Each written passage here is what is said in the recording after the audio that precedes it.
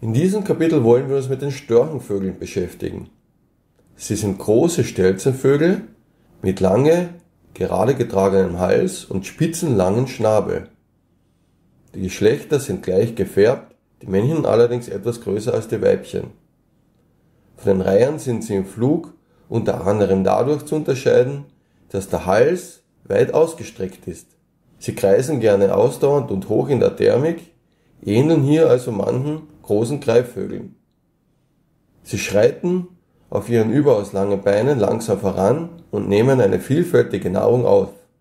Zum Beispiel sind es Mäuse, Wasserinsekten, Amphibien, Fische, Heuschrecken, Regenwürmer und mehr.